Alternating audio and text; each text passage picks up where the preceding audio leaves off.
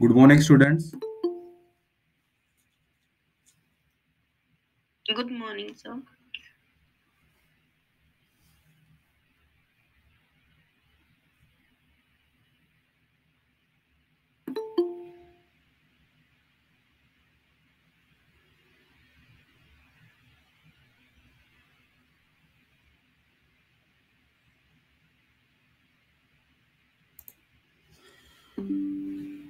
Is my screen is visible to you all?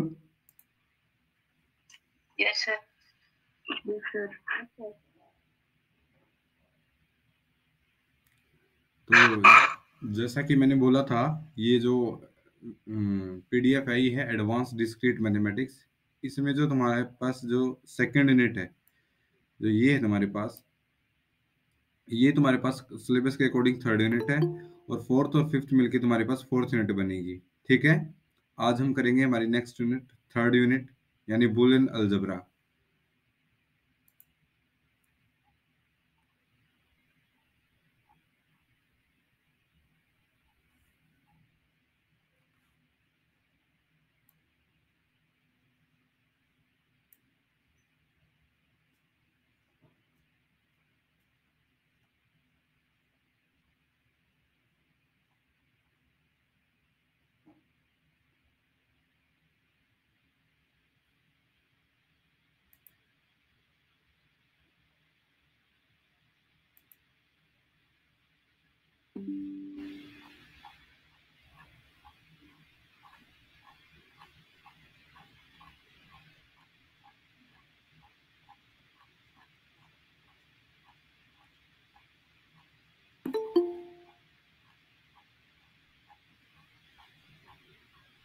इससे पहले हमने किया था लैटिस।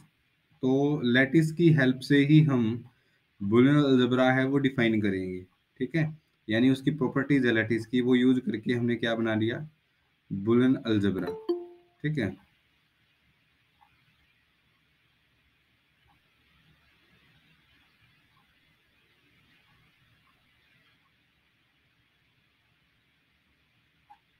तो तुम्हारे पास लैटिस का टॉपिक था। सर ये बुलियन वाला थर्ड यूनिट है सेकंड थर्ड यूनिट है। सिलेबस जो भेजा है मैंने ग्रुप में। वहाँ पे देखो। थर्ड यूनिट है। इससे पहले जो हम ये हमने कल किया था ये लेटिस है। उसमें से पीडीएफ में से। ठीक है इसमें से भी कर सकते हो लेकिन सारा नहीं है इसमें। तो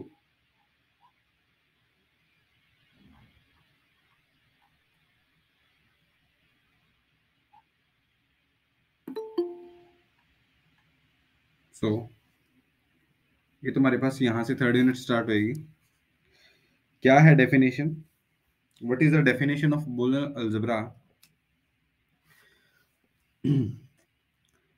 a non empty set B with two binary operation this and this ठीक है ये क्या था तुम्हारे पास?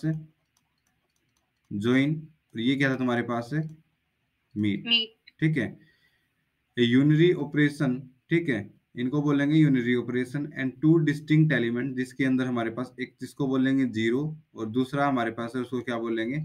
वन बोलेंगे ठीक है? तो अगर ये तुम्हारे पास unary mean sir unary means ये जो तुम्हारे पास है ये ये दो जैसे बाइनरी ऑपरेशन बोलते थे अब यूनरी मींस यूनरी मीन्स क्या होता है कि जैसे बाइनरी है बाइनरी में तुम्हारे पास क्या होंगे कि ए स्टार बी है। ठीक है? तो ए और बी के कॉरस्पॉन्डिंग जो ऑपरेशन है, इसको यूनरी बोलते हैं, ठीक है?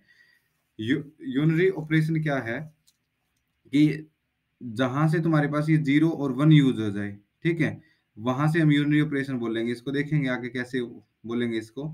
And two distinct element zero and one is called Boolean algebra ठीक है? ज़ीरो वन के बारे में हमने कल लास्ट में भी डिस्कस किया था। If the following axiom hold for any element A comma B comma B C belonging to B अगर ये तीन, चारों प्रॉपर्टी अगर तुम्हारे पास होल्ड होती है किसी भी लैटिस के कोरस्पॉन्डिंग तो लैटिस भी यूज़ कर सकते हैं, लेकिन लैटिस हम वर्ड यूज़ नहीं करेंगे यहाँ पे। आगे जाके रिजल्ट्स में यूज़ करेंगे तो उसको हम क्या बोल देंगे? Boolean algebra. और बुलियन अलजबरा को लिखने का जो नोटेशन है वो है ये बी ठीक है? फिर फ़र्स्ट जो तुम्हारे पास है फ़र्स्ट फ़र्स्ट ऑपरेशन जो हम लिखेंगे वो लिखेंगे ज्वाइन फिर मीट फिर ये फिर ज़ीरो फिर वन और ये आगे लिख देंगे। तो ये तुम्हारे पास क्या बन जाएगा? एक बुलियन अलजबरा ठीक है?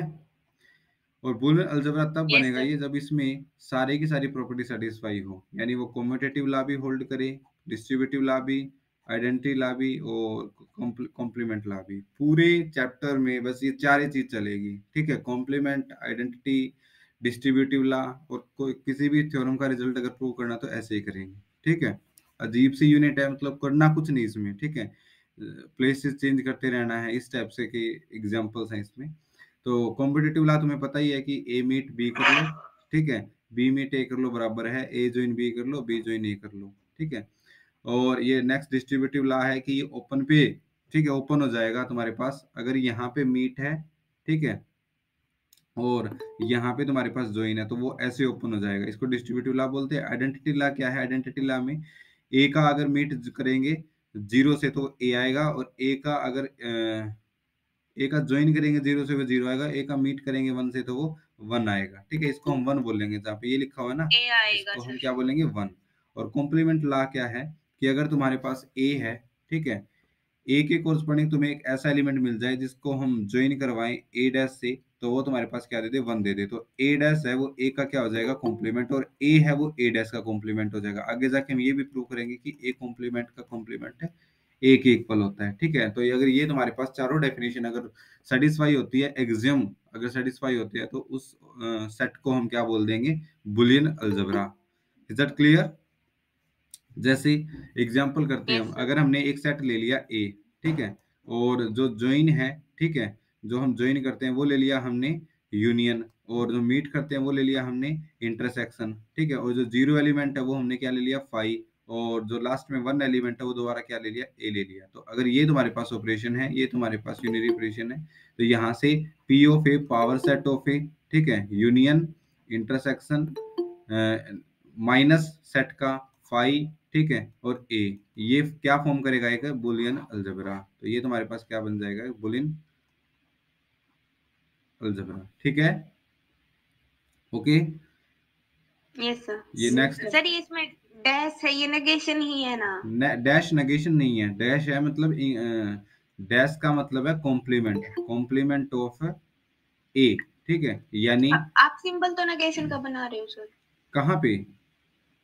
ये जैसे power set of A union intersection फिर इसमें जैसे प्रिंटेड है हमारे पास उसमें डैश है फिर फाइव फिर ए हाँ, ये ये तो नेगेशन का है। ये फाइव और ए है ये ये फाइव है इसको हम ज़ीरो एलिमेंट बोलते हैं। ठीक है? ये तुम्हारे पास लिखा भी हुआ है और ए कंप्लीट आई के वन के इक्वल हो जाएगा वो वाला। हाँ और वन है उसको हम यूनिट एलिमेंट बोलेंगे और एट तो ये नेगेशन ही है ना सर यहाँ पे तो? हाँ जी।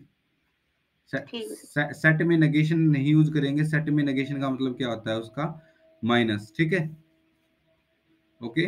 नेक्स्ट एग्जांपल जैसे बाइनरी ऑपरेशन के कोरस्पोंडिंग डिजिट के कोरस्पोंडिंग ऐसे उसने मीट uh, डिफाइन कर दिया ऐसे उसने ज्वाइन डिफाइन कर दिया और ऐसे उसने कॉम्प्लीमेंट डिफाइन कर दिया तो ये हमारे पास क्या बनाएगा? एक बुलियन अलजबरा बनाएगा ठीक है? तो ये एक दो एग्जांपल और गिवन है इनको आप कर सकते हो। नेक्स्ट डेफिनेशन है तुम्हारे पास। कि कल हमने किया था लास्ट में बिल्कुल लास्ट में हमारे पास रिज़ल्ट था कि अगर एक फाइनाइट लैटिस है ठीक है? तो फाइनाइट लैटिस है तो उसका least upper bound greatest lower bound exist करेगा बच्चों है ना? और बाउंडेड है वो ठीक है? बाउंडेड है तो वो हमारे पास चारों एग्जिम सेटिस्फाई करेगी यानी कॉम्पिटेटिव ला भी होल्ड करेगा एसोसिएटिव ला भी होल्ड करेगा आइडेंटिटी ला भी होल्ड करेगा और लास्ट में क्या है? डिस्ट्रीब्यूटिव ला वो भी होल्ड करेगा ठीक है? कॉम्प्लीमेंट ला वो भी होल्ड करेगा। तो अगर तुम्हारे पास एक फाइनाइट लैटिस है तो वो ऑलवेज क्या बनेगी एक? बुलियन अलजबरा, ठीक है? अब वो आइसोमॉर्फिक होगी। If it is isomorphic with the bn, ठीक है? Bn तुम्हारे पास क्या होता है बच्चों? Bn बाइनरी ऑपरेशन से मिलके बना होता है, ठीक है? जैसे तुम्हें b2 लिख दे तो b2 को हम ऐसे लिखेंगे zero zero zero one one zero one one और इसका ग्राफ ऐसे होगा, ठीक है? सिमिलरली अगर बी थ्री लिख दे तो बी थ्री में ऐसे बनाएँगे हम ज़ीरो ज़ीरो ज़ीरो फिर zero zero one zero one zero zero zero one, फिर आगे ज़ीरो वन वन, इस इस टाइप से हमारे पास जो इसका ग्राफ बनेगा वो इस टाइप का बनेगा, ठीक है? जैसे हमने कल बनाया था, इस टाइप से आगे बनाएँगे हम। तो बोलता है, अगर बुलियन अलजेब्रा फाइनाइट है तो बुलियन अलजेब्रा तो बनेगा ही बनेगा, ठीक है? अगर वो तुम्हारे पास बी एन के आइसोमोर्फिक आइसोमोर्फिज्म की डेफिनेशन लैटिस में हमने कल डिस्कस की थी, करी थी तो वो बी एन के आइसोमोर्फिक भी होगा। जैसे इसने बोल दिया D three what D by D three D three क्या था कल? All positive divisor of thirty ठीक है? तो जैसे वन आ जाएगा टू आ जाएगा थ्री आ जाएगा five six ten fifteen thirty ठीक है? ये आ जाएँगे इसमें eight element similarly B B three लिखे हम बी थ्री में एलिमेंट आएँगे zero zero zero one zero zero ठीक है? फिर नेक्स्ट ज़ीरो वन ज़ीरो फिर नेक्स्ट ज़ीरो ज़ीरो वन फिर वन वन ज़ीरो तो यहाँ से अगर हम ये मैपिंग डिफाइन करते सच दैट वन इस पे जाए टू इस पे जाए थ्री इस पे जाए फाइव इस पे जाए तो यहाँ से जो हमारे पास डी थर्टी है वो क्या बन जाएगा एक? बुलियन अल्जबरा बन जाएगा बाय दिस रिज़ल्ट या definition is that clear isomorphic isomorphic हो जाएगा आंसर डी हाँ आइसोमॉर्फिक हो जाएगा यस बिल्कुल. आइसोमॉर्फिक हो जाएगा यानी वन वन वन टू हो जाएगा. हर एक सर इसमें हर एक एलिमेंट की अगर इमेज और प्री इमेज मिल जाए तो वो आइसोमॉर्फिक हो जाएगा। हाँ. जैसे इसमें एट एलिमेंट डी थर्टी में थे और बी थ्री में भी एट एलिमेंट आएँगे। तो एक एक को उसकी इमेज दे देंगे तो ये आइसोमॉर्फिक हो जाएगा। बाई हम बोलते हैं वन वन वन वन बोलना की है एक एलिमेंट की मतलब सिंगल सिंगल फिर इमेज भी तो मिल गई ना सर ऑन टू भी हो गया। अगर इमेज ही नहीं मिलेगी तो वो तो फ़ंक्शन ही नहीं होगा। अगर इमेज नहीं मिलती तो वो फ़ंक्शन नहीं बनता फिर ठीक है? यस सो फाइनाइट लैटिस हमारे पास क्या बनेगा एक बुलियन अलजेब्रा उसको रिज़ल्ट को और एक्सटेंड कर दिया इसने।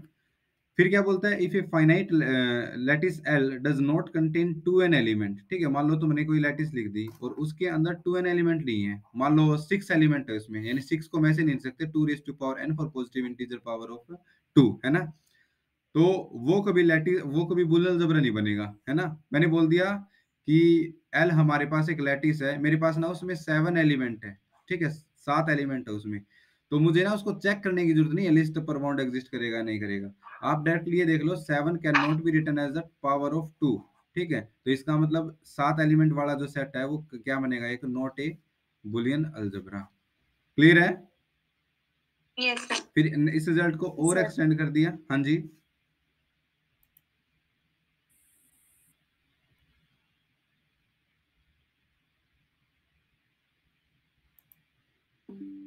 रिज़ल्ट को और एक्सटेंड कर दिया। अगर लेटिस अब इसका कन्वर्स टू नहीं है। कोई बच्चा बोले सर मैंने एक सेट ले लिया और उसके element two raise to power N की फॉर्म में है। तो वो बुल अलजबरा हो भी सकता है और नहीं भी हो सकता। लेकिन अगर two raise to power N में नहीं लिखा जाए तो वो पक्का बुल अलजबरा नहीं होगा। ठीक है? Yes, okay okay. इसके लिए तुम्हारे पास थ्योरम है। ये थ्योरम से अप्रूव कर सकते हो कि अगर एन तुम्हारे पास एक नेचुरल नंबर है और उसकी उसकी हमने प्राइम फैक्टराइजेशन कर दी such that P one P two and up one P N ये सारे के सारे डिस्टिंग प्राइम है, ठीक है? Then D N is a Boolean algebra ठीक है? ये थ्योरम आप स्किप भी कर सकते हो एग्ज़ाम में नहीं आएगी नेक्स्ट है ड्यूल्टी ड्यूल्टी क्या होता है बच्चों? पता है किसी को क्या होता है ड्यूल्टी कि अगर हम किसी भी इंटरचेंज करते सर दो हाँ, को ज्वाइन को मीट से मीट को ज्वाइन से ज़ीरो को वन से और वन को ज़ीरो से ठीक है? तो इस टाइप की एक्सप्रेशन को आगे हम नेक्स्ट बुलन एक्सप्रेशन है वो भी डिस्कस करेंगे लेकिन ड्यूल्टी हम किसको बोलते हैं? अगर हम ज्वाइन को मीट से मीट को ज्वाइन से अगर रिप्लेस इंटरचेंज कर दे ज़ीरो को वन से और वन को ज़ीरो से जैसे हमने ये लिख दिया ठीक है? A meet one is equal to one तो यहाँ से ए है ठीक है? ये जो साइन है ये क्या हो जाएगा? ज्वाइन का मीट है यहाँ पे ज्वाइन हो जाएगा। वन की जगह क्या हो जाएगा? ज़ीरो और वन की जगह क्या हो जाएगा? ज़ीरो तो जो ये है ये तुम्हारे पास क्या है? ड्यूल ऑफ़ दिस ठीक है? देखो यहाँ पे बच्चों गलत दिया हुआ है। यहाँ पे अगर यहाँ पे उसने मीट लिखा तो यहाँ पे ज्वाइन आना चाहिए ठीक है? ये करेक्ट कर लेना। Okay so yes, this is the definition of duality.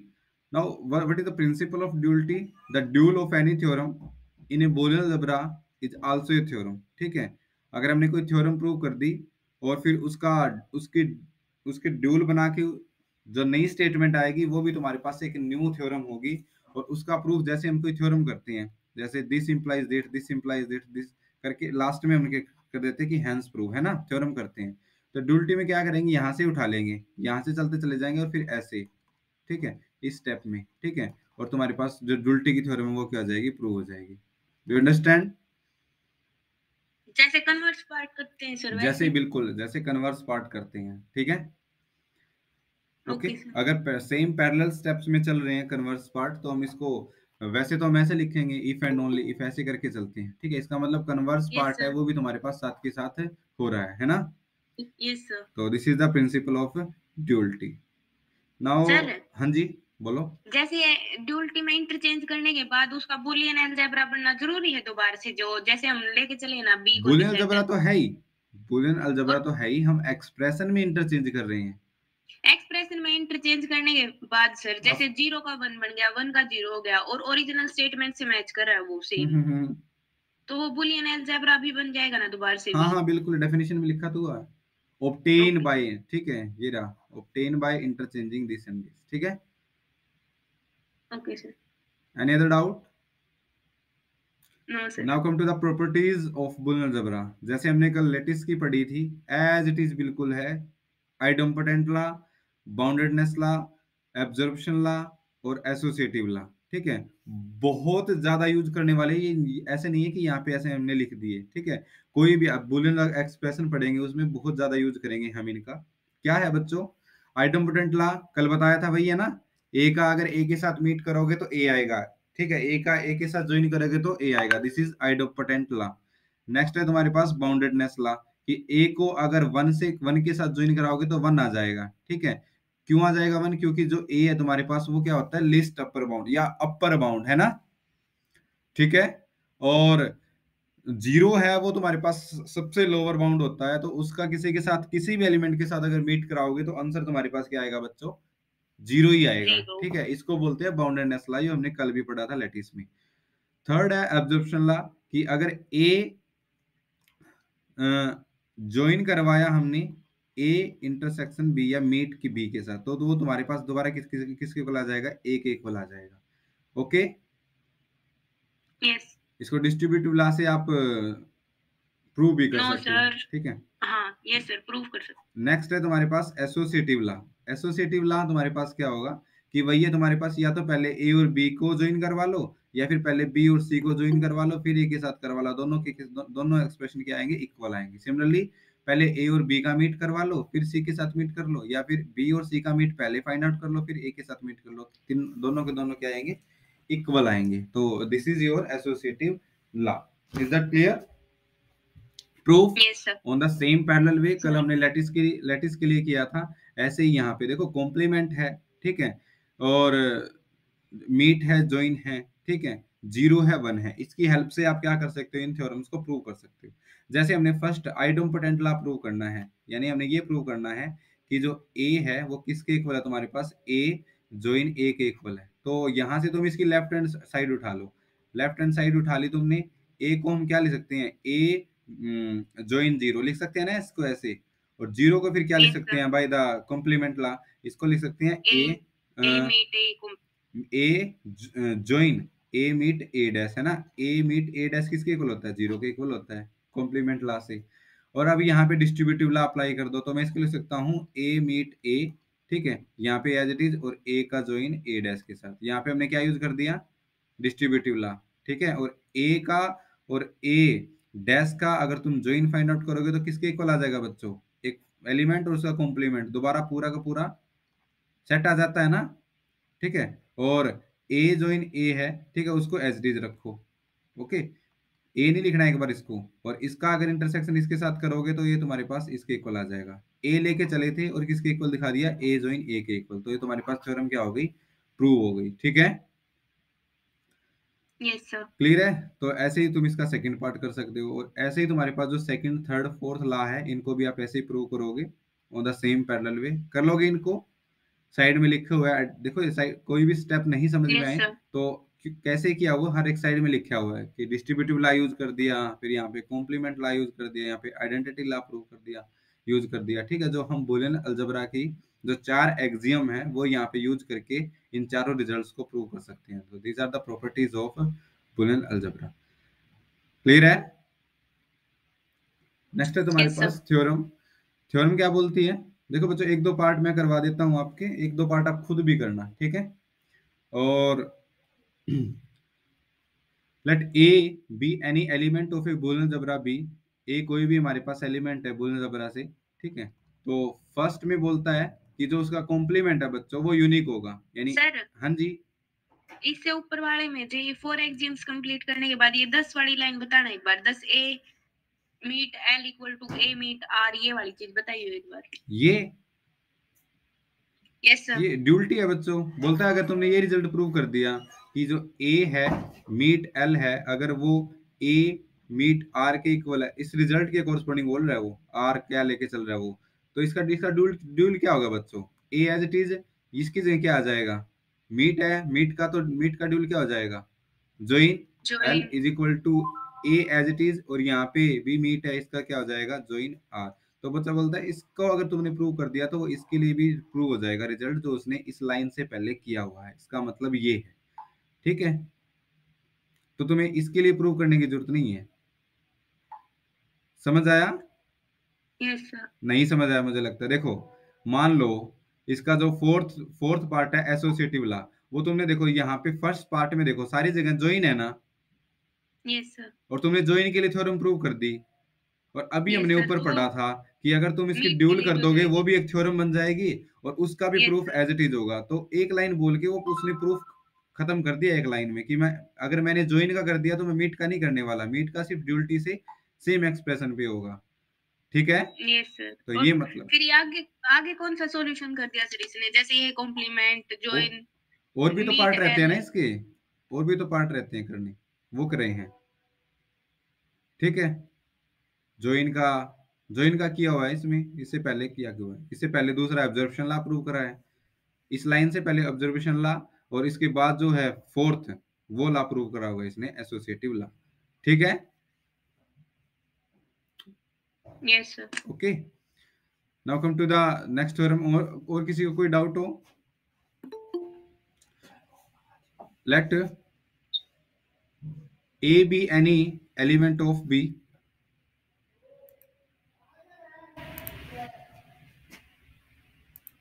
ठीक लगा है हाँ। हाँ बस क्यों तो दूसरी बार हम्म? तो दूसरी बार ना ना ठीक है। पहली बार बारी याद मैंने। कौन आई बात करनी।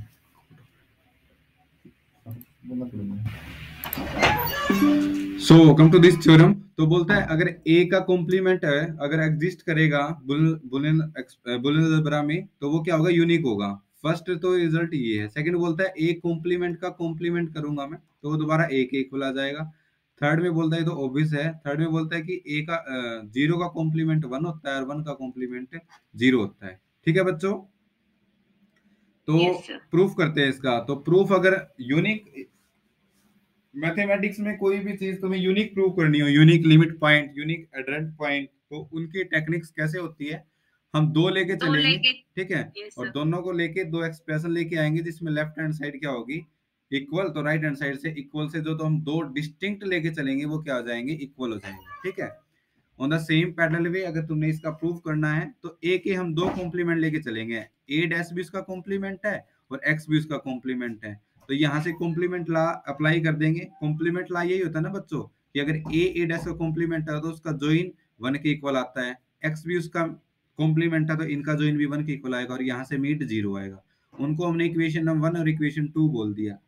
Is that clear now consider A dash ठीक है? अब वही करेंगे हम left hand side is equal to right hand side ऐसे करके चलेंगे। ए डैश इसने लिया ए डैश को इसने लिख दिया A dash union zero identity law का यूज़ करके। पर ज़ीरो किसके इक्वल है? ज़ीरो इक्वल है ए मीट एक्स उसकी वैल्यू पुट कर दी, फिर डिस्ट्रीब्यूटिव ला लगा दिया यहाँ पे।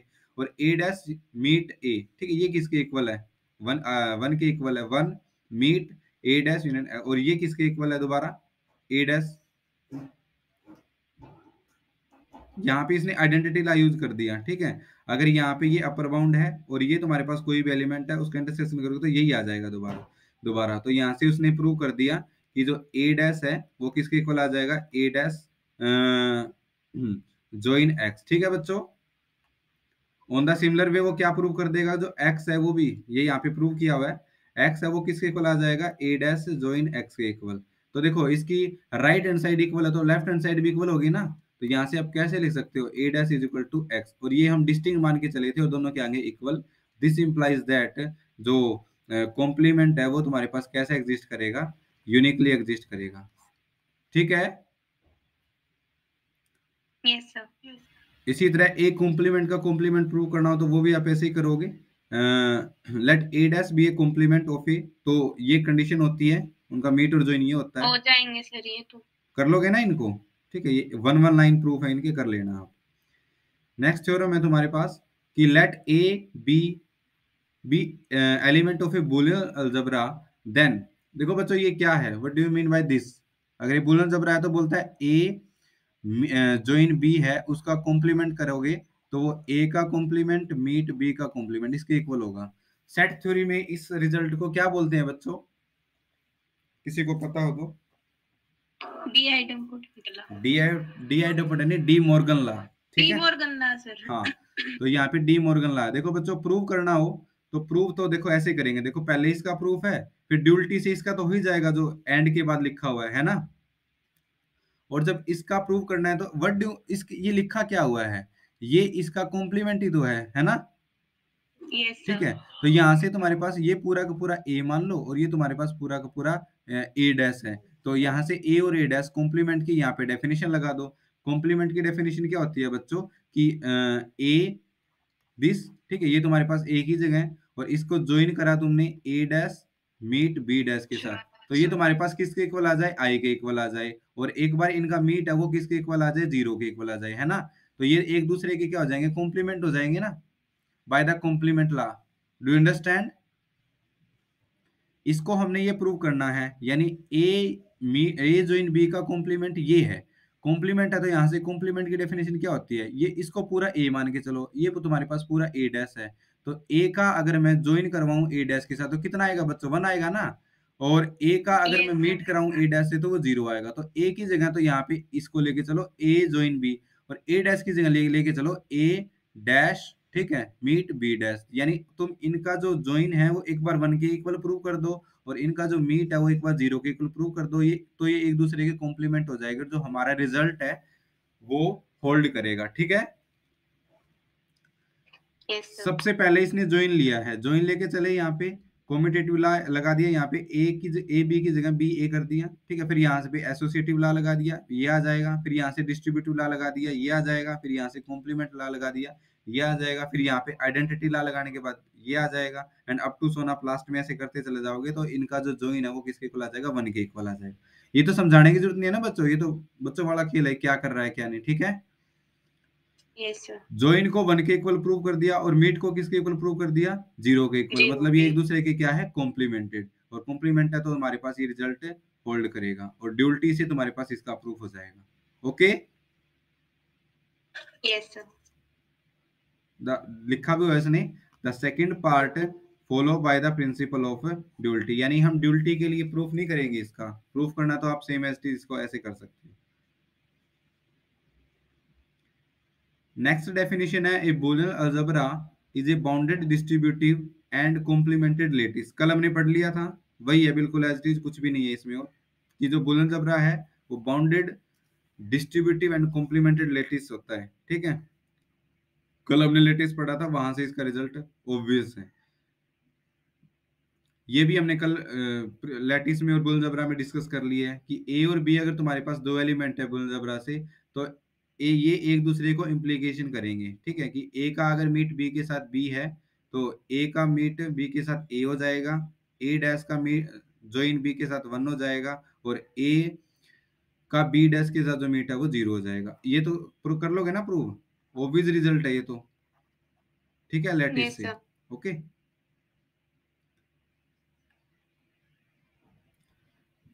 show that the lattice whose diagram is this is not a bulgebra क्यों नहीं है bulgebra बताओ?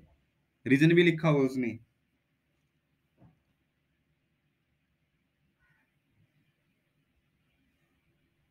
अभी हमने पढ़ा था कि किसी भी एलिमेंट का कॉम्प्लीमेंट है वो क्या होगा?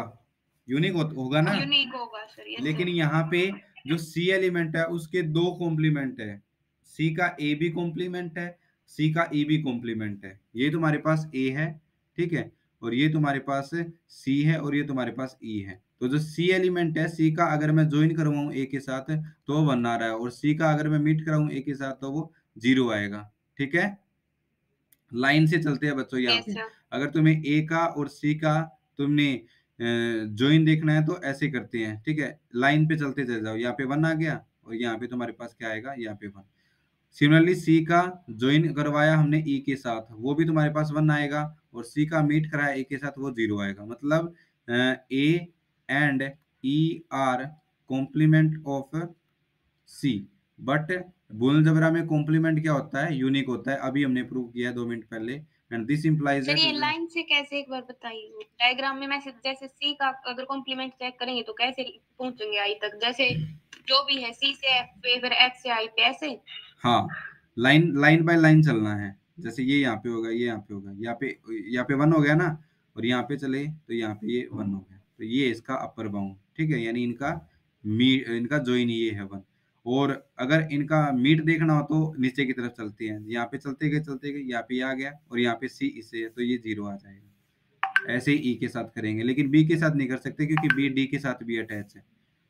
Okay okay sir now next definition है तुम्हारे पास सब बुल जबरा जैसे सब लैटिस की थी, ऐसे ही सब बुल जबरा की है। क्या है बच्चों?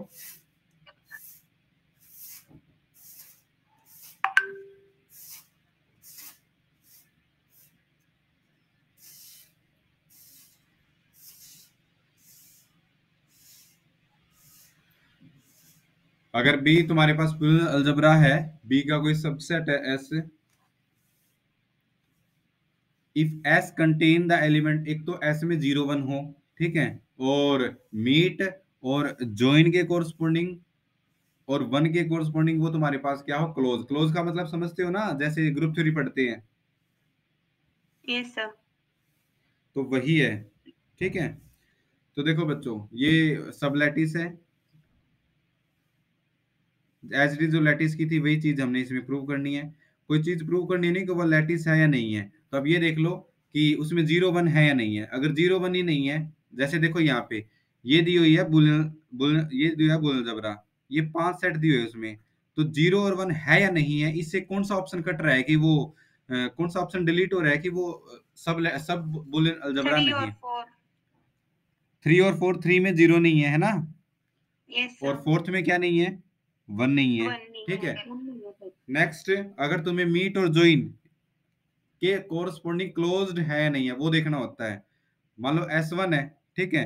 एस वन देखो मीट और ज्वाइन के कोरस्पोंडिंग क्लोज है या नहीं है? मीट और ज्वाइन के क्लोज क्लोज का मतलब होता है कि अगर सबसे पहले एलिमेंट ए उठा लिया ए का बाकी के साथ अगर ज्वाइन करोगे तो जो आंसर आएगा वो दोबारा एस वन में हो। ए का बाकी जितने भी एलिमेंट्स है उसके साथ अगर मीट करोगे तो आंसर आएगा दोबारा एस वन में हो। इसको बोलते हैं क्लोज होना। एस वन कर रहे हैं प्रॉपर्टी सेटिस्फाई तो इसका मतलब एस वन बन जाएगा एस टू एस टू भी बन जाएगा है ना? जब ये लिखा है ना ए टी ये पूरा एक एलिमेंट है इसमें ठीक है? और ये इसका डायग्राम है ठीक है? एस थ्री नहीं बनेगा इसमें ज़ीरो ज़ीरो नहीं है इसमें वन नहीं है। ये बनेगा एस फाइव नो सर क्यों? क्योंकि इसमें जो ये बाउंडेड नहीं है सर जॉइन और मीट ऑपरेशन के साथ। हाँ जैसे अगर ए हाँ ए का और बी डैश का। अगर ए और बी डैश का तुम ज्वाइन करोगे तो वो तो है ही नहीं इसमें ये पूरा एलिमेंट इसके अंदर होना चाहिए था है ना? ठीक है? Yes, तो एस फाइव क्लोज नहीं है ठीक है? तो एस फाइव नहीं बनेगा तो सिर्फ़ एस वन और एस टू बनेंगे। Okay? Now come to the next definition ये एज इट इज़ है बच्चों बिल्कुल एज इट इज़ है कुछ भी नया नहीं है। कल हमने पढ़ा था ना लेटिस के लिए? यस सर क्रॉस प्रोडक्ट ये होते हैं फिर बुलियन होमोमोर्फिज्म ये एक फ़र्स्ट बुलियन तुम्हारे पास है सेकंड है वो होमोमोर्फिज्म होगा अगर तुम्हारे पास ऑपरेशन है वो क्या रहे? प्रिजर्व ठीक है? और ये तुमने इसके एक तरफ़ जो एक तरफ़ जो है तुम्हारे पास बुलियन उसकी ऑपरेशन ले लिया इसने ज्वाइन और मीट और दूसरी तरफ़ है वो ले लिया इसको ले लिया बी इसको ले लिया पी ठीक है? और यहाँ से जो ऑपरेशन है वो वो लेके चला है इंटरसेक्शन और यूनियन, और यहाँ पे ज़ीरो वन लेके चला है, यहाँ पे अल्फ़ा बीटा लेके चला है, यहाँ पे डैश लेके चला है कॉम्प्लीमेंट और यहाँ पे क्या लेके चला है माइनस ठीक है? तो इसके कोरस्पोंडिंग अगर एक फ़ंक्शन एग्जिस्ट कर जाए, ठीक है सच दैट वो ऑपरेशन प्रिजर्व करे, यानी F of A meet B है, उसको F of A intersection F of B लिख दे, और एफ़ ऑफ़ ए जो इन बी है, उसको लिख दे F of A union F of B तो अगर ऐसा है तो एफ़ है वो तुम्हारे पास क्या आ जाएगा? बुलियन होमोमोर्फिज्म ठीक है? सर और आइसोमॉर्फिज्म कब हो जाएगा? अगर ये तुम्हारे पास होमोमॉर्फिज्म ये क्या हो जाए? One one and onto one one and onto या फिर इसको हम ये बोल दें कि जो एफ़ है वो तुम्हारे पास क्या हो? बाइजेक्टिव बाइजेक्टिव हो तो तुम्हारे पास क्या हो जाएगा? बुलियन आइसोमॉर्फिज्म ठीक है? रिप्रेजेंटेशन थ्योरम देखो बच्चों कल हमने एटम्स पढ़े थे। क्या था? क्या थी डेफिनेशन एटम्स की? जो लिस्ट से ऊपर होते हैं सर जस्ट हाँ जस्ट जो लिस्ट होता है या सबसे लोअर बाउंड होता है जस्ट उससे सक्सीड करके जो हमारे पास सक्सीड करके जो एलिमेंट्स होंगे उनको हम एटम बोलते हैं और एटम का ही दूसरा नाम है mean mean term minimum term नहीं मीन ट्रम बोलते हैं इसको शॉर्ट फॉर्म में ठीक है? मिन ट्रम्स ठीक है? या तो आप एटम बोलो या फिर एटम्स की जगह आप मिन ट्रम्स बोलो इक्वल ही बात है ठीक है? तो इसके कोरस्पोंडिंग रिप्रेजेंटेशन थ्योरम है कि क्या बोलता है कि any Boolean algebra is isomorphic to the कोई भी बुल अलजेब्रा ले लिया तो वो बुलियन अलजेब्रा एक एक सेट ए के पावर सेट के कोरस्पोंडिंग ऑपरेशन इंटरसेक्शन और यूनियन ठीक है? उसके आइसोमॉर्फिक पक्का होगा। यानी मैंने, मान लो मैंने कोई कोई बुल बुल अलजेब्रा ले लिया, मान लो उसमें 64 एलिमेंट है उस बुल अलजेब्रा में। तो पक्का एक ऐसा सेट मिलेगा जिसके पावर सेट में 64 एलिमेंट होंगे और ऑपरेशन इंटरसेक्शन और यूनियन होंगे। वो दोनों एक दूसरे के क्या होंगे? Isomorphic this is the statement of Stone representation theorem is it clear yes sir और आगे इसने प्रूव किया हुआ है ठीक है? कि let B be a finite और जो तुम्हारे पास ये रिज़ल्ट होगा ये ऑफ़ कोर्स फाइनाइट के लिए होगा क्योंकि हमने बोल जबरा में एलिमेंट लिखे थे 2 raise to power n where n is a positive integer. Okay? What is the statement of this theorem okay sir uh, let b be a finite boolean algebra and let a be the set of atoms of b if p of a is the boolean algebra ठीक है power set के corresponding of all the subset of a of atom then the mapping of f b to f of a and isomorphic isomorphism ठीक है इसने result को थोड़ा सा छोटा करके यहाँ पे थ्योरम लिखी है सिर्फ़ एटम्स के लिए ठीक है और यहाँ पे पूरा का पूरा सेट के लिए है ठीक है यस सर तो इसका प्रूफ जैसे कि हमने कल हमने लेटिस कर रहा था ऐसे ही है बिल्कुल। कर लोगे इसको? क्या दिखाना है तुम्हें? अगर आइसोमोर्फिज्म दिखानी है तो तुम्हें दो चीज़ें दिखानी है। क्या क्या बताओ। ऑपरेशन प्रिजर्व रहे हैं? ठीक है? Yes one sir one and onto हाँ one one and onto operation preserve रहे। बस ये करा हुआ है इसने और कुछ भी नहीं किया हुआ ठीक है? वन वन और ऑन टू तो दिखा ही सकते हैं इसमें आइसोमोर्फिज्म के लिए ठीक है? तो उससे पहले हम ऑपरेशन प्रिजर्व दिखा देंगे एंड दिस कंप्लीट द जैसे जिस सेट से वो कर रहे हैं ना सर फ़ंक्शन डिफाइन हाँ। किया और जिस पे किया हुआ उसके अकॉर्डिंग खुल जाए वो दूसरे हाँ। के अकॉर्डिंग और दूसरे में हम इंटरसेक्शन लेके चल रहे हैं और पहले में हम जॉइन और मीट लेके चल रहे हैं ठीक है? यस और देखो फिर Yes, जो मैंने बात बोली थी लास्ट में बोल भी रहा है ये ठीक है? कि if a set A has N element then the power set में टू एन एलिमेंट होंगे टू एन एलिमेंट होंगे तो पक्का क्या बनेगा एक? बुलल जबरा के आइसोमॉर्फिक है ना? पढ़ा होगा रिज़ल्ट तो ये अगर ए की कार्डिनलिटी ए सेट की कार्डिनलिटी एन है तो इसके पावर सेट की कार्डिनलिटी कितनी होती है? टू टू पावर और अभी हमने पढ़ा अगर एक एल लैटिस है तो उसमें पक्का कितने एलिमेंट होंगे? Two raise to power N something है ना? Yes sir yes sir come to the next example. Consider the bull algebra d uh, d70 d70 का क्या मतलब होता है बच्चों? 70 को जिनका जीसीडी 70 के साथ नहीं। प्राइम डिवाइजर ऑफ़ 70 नहीं प्राइम डिवाइजर Five. नहीं all divisor all divisor all divisor of 70 yes sir 5 के अकॉर्डिंग ना सर 5 70 टाइप 70 के डिवाइजर क्या क्या होंगे अब? 1 होगा 2 होगा 5 होगा 7 होगा 10 होगा 14 होगा 35 होगा 70 होगा। तो ये तुम्हारे पास d70 आ गया। ठीक है? बिल्कुल ठीक बोला आपने, जो बोल रहे थे, वो मीट और जोइन होता है। ठीक है? जो आप बोल रहे थे ना? तो उसके कोरस्पोंडिंग इसका डायग्राम आ गया। ठीक है? देन द सेट ऑफ़ बताओ 70 के एटम्स कौन कौन से होंगे d70 के? लोअर बाउंड क्या है इसमें? 1 सर और वन से जस्ट ऊपर कितने हैं? जो वन के साथ अटैच है। 2 7 टू फाइव और सेवन। तो ये Seven. इसके एटम हो जाएँगे। टू फाइव और सेवन। इसको हमने ए बोल दिया ठीक है? The unique representation of each of the non empty non atom by atom is अगर ये तुम्हारे पास एटम है टू फाइव सेवन तो इसको छोड़ के जो बाकी है वो तुम्हारे पास क्या हो जाएँगे? नॉन एटम और उनको हम यूनिकली प्रूव कर सकते हैं। यहाँ पे एक मेंबर होगा। सेट का, ठीक है? उसको ज्वाइन करवाएँगे दूसरे मेंबर के साथ। तो टेन को हम ऐसे लिख सकते हैं फोर्टीन को ऐसे लिख सकते हैं थर्टी फाइव को ऐसे लिख सकते हैं सेवेंटी को ऐसे लिख सकते हैं, ठीक है? ये तरीका यूनिक है। सेवेंटी को और कोई तरीका नहीं है ऐसे लिखने का। थर्टी फाइव का भी और कोई तरीका नहीं है जिसको हम ऐसे लिख सकें।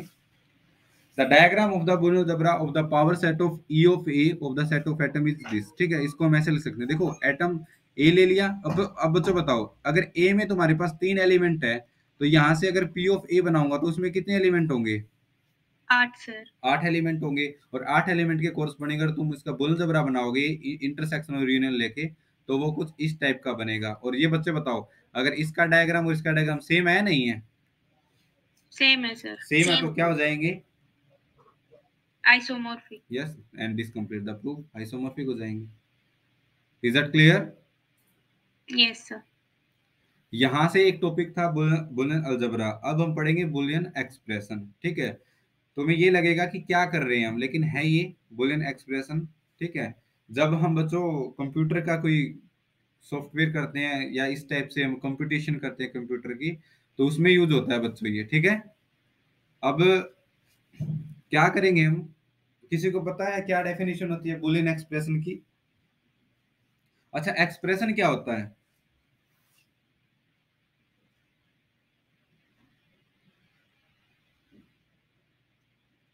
एक्सप्रेशन क्या होता है बच्चों? हम करते हैं ना?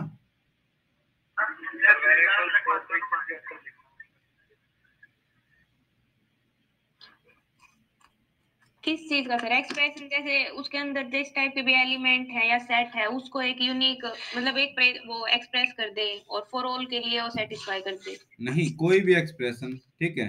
जो कुछ ऑपरेशन के साथ अप्लाई किया हुआ है तुम्हारे पास एक्सप्रेशन होता है। ये, नहीं क्वेश्चन नहीं आता सोल्व दिस एक्सप्रेशन ठीक है? उसको हम सिंपलीफाई सिंपलीफाई फॉर्म में लिखते हैं है ना?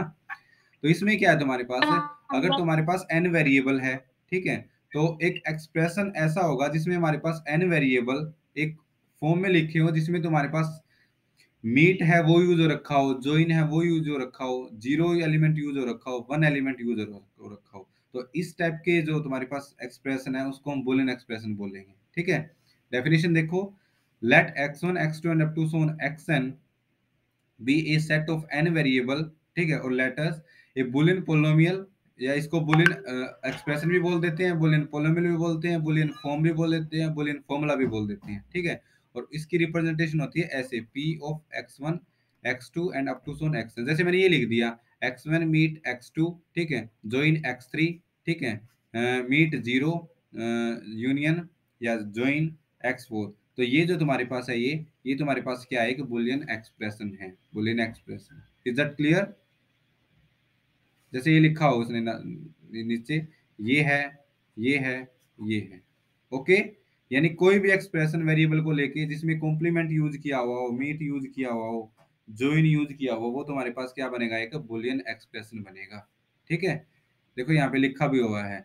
The Boolean expression is an expression built form the variable given using Boolean expression join meet and complement is that clear definition Boolean expression की कुछ ना समझ में आया हो? अब इन सारे का यूज़ करके हम सम ऑफ़ प्रोडक्ट पे जाएँगे ठीक है? प्रोडक्ट पे जाएँगे फिर सम पे जाएँगे इनकी। तो नेक्स्ट डेफिनेशन डेफिनेशन है तुम्हारे पास लिटरल की। ठीक है? लिटरल क्या होते हैं बच्चों? बताओ।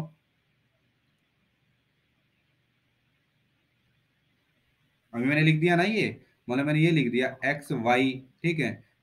Meet X dash Y dash meet Z dash तो इसमें जो एक्स वाई है एक्स डैश वाई डैश है जेड डैश है, ये सारे के सारे जो टर्म है, इनको हम क्या बोलेंगे? लिटर बोलेंगे, ठीक है बच्चों?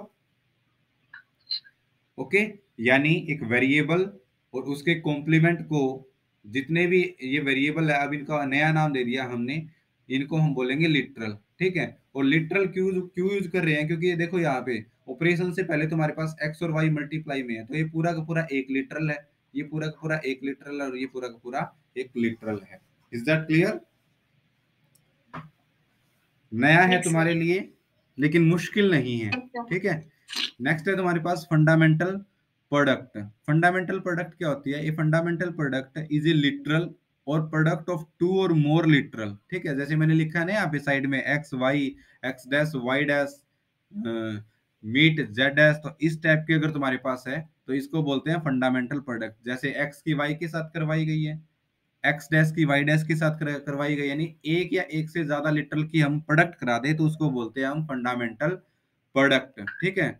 जैसे एग्ज़ाम्पल ये दिया हुआ है देखो यहाँ पे ये रहा ठीक है? तो this is the fundamental product ठीक है? यानी यहाँ पे एक्स डैश है, यहाँ पे वाई है, यहाँ पे जेड है। फिर ये है, ये तुम्हारे पास फंडामेंटल प्रोडक्ट्स है, ठीक है?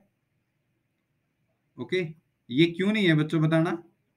जो ये है, देखो ये तो बोल दिया इसने कि this is the fundamental product where as this is not fundamental product ये क्यों नहीं है? और ये क्यों है?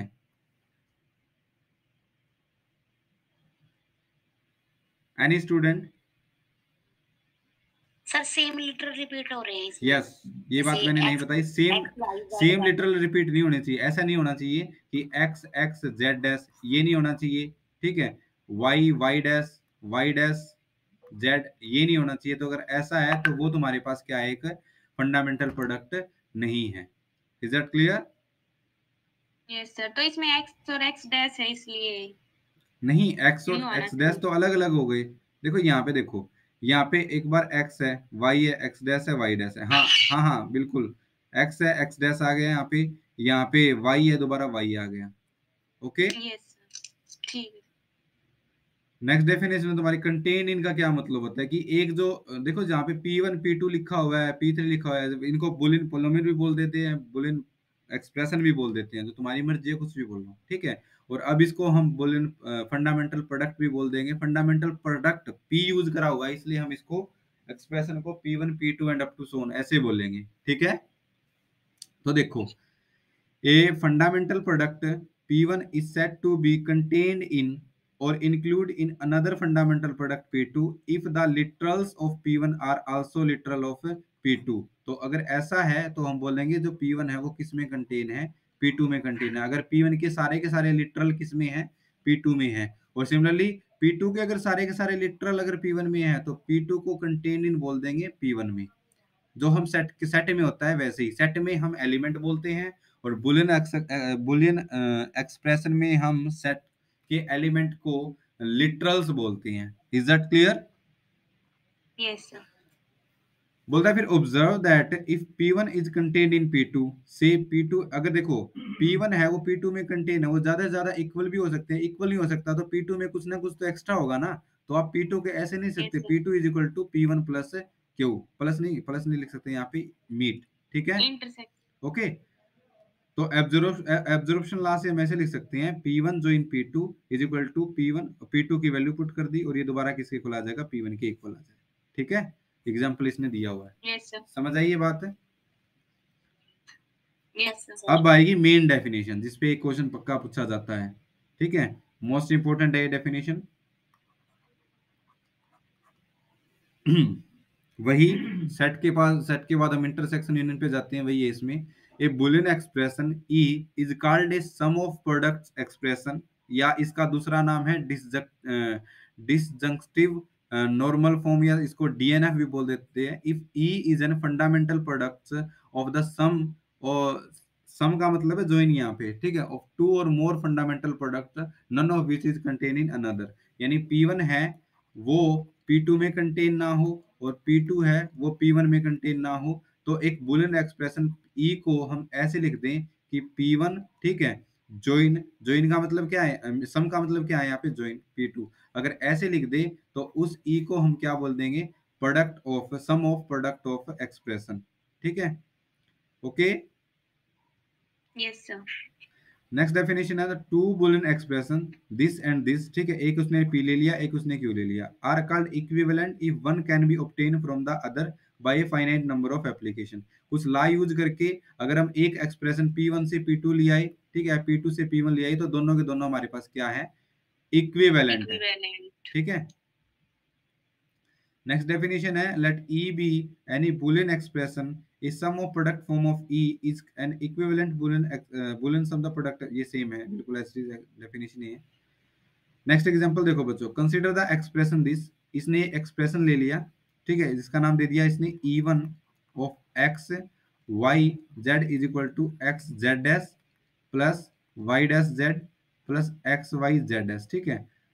Although the expression E1 is a sum of product क्या ये सम ऑफ़ प्रोडक्ट है? क्या कोई देखो लिटरल रिपीट तो नहीं हो रहा? Same same literal same expression में रिपीट नहीं होना चाहिए। यहाँ पे एक्स जेड है तीनों दोनों डिस्टिंक्ट है। यहाँ भी दोनों डिस्टिंग और यहाँ पे तीनों डिस्टिंग है। तो ये क्या बनेगा एक? सम ऑफ़ प्रोडक्ट बनेगा। ठीक है? Yes, दूसरा? अब सम ऑफ़ प्रोडक्ट देखना है। देखो ये सम ऑफ़ प्रोडक्ट एक्सप्रेशन तो है ही। अब तुम्हें ये देखना है कि सम ऑफ़ प्रोडक्ट है या नहीं है। तो देखो बच्चा बोलता है कि it is not a sum of product expression because X Z dash is contain in another product ठीक है? ये एक्स जेड है यहाँ पे और ये किसमें कंटेन है? इसमें कंटेन है लेकिन ऐसा नहीं होना चाहिए। अगर ऐसा है तो वो तुम्हारे पास क्या हो जाएगा? एक सम ऑफ़ प्रोडक्ट फॉर्म नहीं बनेगी। नहीं तो ये नहीं बनेगी। अच्छा मैं ऐसे लिख देता E two of X Y Z is equal to X Z dash plus Y dash Z. क्या ये है एक sum of product form yes, sir. तो यही बोला इसने कि ये सम ऑफ़ प्रोडक्ट बन जाएगी। ठीक है?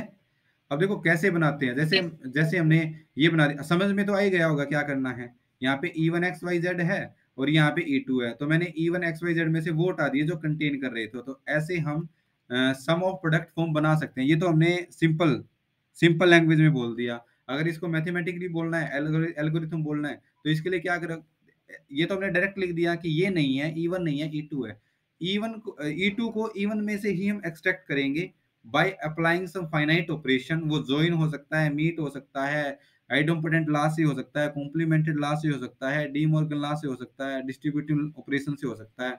तो इनको एल्गोरिथम क्यों बोलते हैं बच्चों? एल्गोरिथम इसलिए बोलते हैं कि हमने सबसे पहले ये डिसाइड करना है कि हम इन ऑपरेशन में से सबसे पहले कौन सा ऑपरेशन यूज़ करेंगे, फिर कौन सा, फिर कौन सा।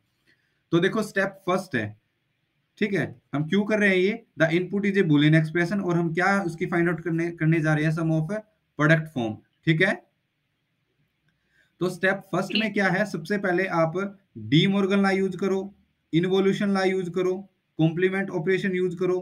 ठीक है? और जो ब्रैकेट्स है, उनको ओपन करो, ठीक है? ये ओपन करने के बाद स्टेप टू में क्या है? फिर डिस्ट्रीब्यूटिव ला पे जाओ, ठीक है? थर्ड स्टेप में क्या है? फिर कॉम्पिटेटिव ला आइटोम्पोटेंट ला और कॉम्प्लीमेंटेड ला, ठीक है? और फिर ज़ीरो और ज़ीरो वन को लिखो। और फिर लास्ट में तुम्हारे पास स्टेप फोर्थ में ऑब्जर्वेशन ला और आइडेंटिटी ला यूज़ करो and you can get the required Boolean sum of product form ठीक है? स्टेप फोर समझ में आ गया ना?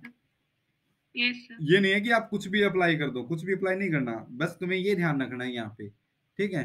तो ये मैं पहले बताता हूँ कि बहुत कंफ्यूजिंग होता है ये, ठीक है? ऐसे करना कि कॉम्प्लीमेंट फिर ला, फिर मीट ज्वाइन फिर ऑब्जर्वेशन ला, फिर इनका कॉम्प्लीमेंट चेक करना। तो ये तुम्हें स्टेप बाय स्टेप करना है। जैसे फॉर एग्जांपल इसने दिया हुआ है we apply the above algorithm on the Boolean expression ये दिया हुआ है बच्चों, ये कॉम्प्लीमेंट ये थोड़ी कॉम्प्लिकेटेड फॉर्म है तो इसको देखो कैसे ओपन किया हुआ है। Step first using De Morgan law and involution law यहाँ पे डी मोर्गन लॉ यूज़ कर दिया इसने। डी मोर्गन लॉ क्या था तुम्हारे पास? ए मीट बी अगर ये है तुम्हारे पास, ये क्या हो जाता था? ए डैश ठीक है? और यहाँ पे मीट है तो यहाँ पे क्या हो जाएगा? ज्वाइन और यहाँ पे बीट ठीक है? और दूसरा क्या था? ए ज्वाइन बी है, उसका डैश करेंगे तो वो तुम्हारे पास क्या आ जाएगा? ए डैश मीट बीट उनका यूज़ कर लिया। कहाँ कहाँ यूज़ किया? देखो, एक तो यहाँ पे यूज़ कर दिया, एक यहाँ पे यूज़ कर दिया, ठीक है? ओके? तो yes, ये आ जाएगा फिर इसको थोड़ा और ओपन करके लिख दिया तो ये आ जाएगा ठीक है? स्टेप टू में हम क्या करेंगे? अब डिस्ट्रीब्यूटिव ला यूज़ करेंगे ठीक है? यानी इसका इसके साथ है ना तो इसका इसके साथ कर दो और फिर इसका इसके साथ कर दो। तो वो डिस्ट्रीब्यूटिव ला यूज़ कर दिया। फिर नेक्स्ट स्टेप में कोम्यूटेटिव ला यूज़ कर दिया ठीक है? फिर कोम्यूटेटिव आइडोम्पोटेंट और कॉम्प्लीमेंट ला यूज़ करके इस एक्सप्रेशन को हम ऐसे लिख देंगे ठीक है? और फिर प्लस का मतलब है यहाँ पे प्लस का मतलब है इंटरसेक्शन ठीक है? सॉरी प्लस का मतलब है ज्वाइन सम का मतलब है यहाँ yes, पे ज्वाइन ठीक है? तो यहाँ पे करते चले जाएँगे तो ये आ जाएगा। लास्ट में हम एब्जॉर्प्शन ला यूज़ कर देंगे। एब्जॉर्प्शन ला का मतलब यही था बच्चों कि एक्स जेड डैश है और यहाँ पे एक्स वाई जेड एस है। तो ये इसमें ऑब्ज़र्व है तो इसकी जगह हम ये लिख देंगे सिर्फ़। ठीक है? और ये तुम्हारे पास लास्ट क्या आ अच्छा। जाएगी इसकी? सम ऑफ़ प्रोडक्ट फॉर्म और बच्चों अगर अगर तुम्हारे पास ऐसी फॉर्म आ जाए जिसको आप आगे सोल्व नहीं कर सकते ठीक है? मतलब सिंपलेस्ट से सिंपलेस्ट फॉर्म में लिख दिया तो उसको हम बोलते हैं बच्चों मिनिमल सम ऑफ़ प्रोडक्ट ठीक है? ये डेफिनेशन नीचे लिखी हुई है 2.8 पेज पे। और 2.8 minimal sum product sum of product ठीक है? यस सर ओके एक डेफिनेशन बीच में ये रहेगी कंप्लीट कंप्लीट वो होती है बच्चों जिसमें सारे के सारे लिटरल आ जाए ठीक है सारे के सारे मिन टर्म आ जाए सारे के सारे लिटरल आ जाए देखो डेफिनेशन लिखी हुई है a boolean expression e x1 x2 and up to so on xn is said to be a complete sum of product expression or full dnf ठीक है if e is the sum of product expression if e is a sum of products expression where each product involve all the n variable n variable या फिर आप ये बोल लो कि literals, ठीक है? तो उसको बोल देंगे complete. स्टेप सेम वही है सारे, इसके आप कर सकते हो इसको। ठीक है? दो स्टेप है। डेफिनेशन आ गई कंप्लीट की? जैसे मैंने ये ले लिया, ठीक है? एक्स और वाई ले लिए, दो वेरिएबल ले लिए। तो एक एक एक्सप्रेशन मैंने लिख दिया एक्स वाई डैश ठीक है? Plus X Y plus X dash Y plus X dash Y dash तो ये सारे के सारे इसमें वेरिएबल यूज़ हुए हैं तो ये तुम्हारे पास क्या बन जाएगा एक complete sum of product expression ठीक है?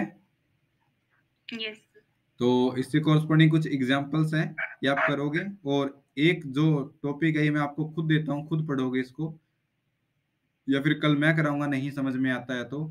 कॉन्सेंस फंडामेंटल प्रोडक्ट ठीक है? तो सेम एस जैसे हमने कंप्लीट के लिए किया है सेम एस इसके लिए करोगे आप तो ये दो थ्योरम है ये इनको आप एज ए होमवर्क करोगे। ओके